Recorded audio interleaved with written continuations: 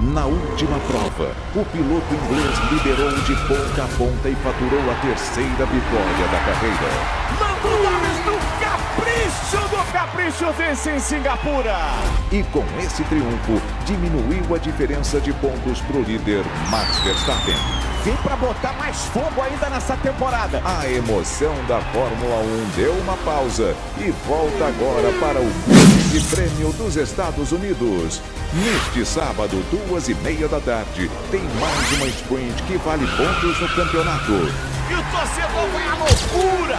Meia-noite e meia, os melhores momentos da classificação.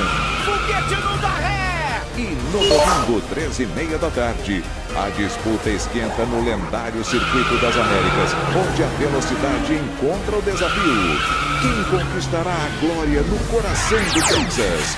Fórmula 1 é na Band.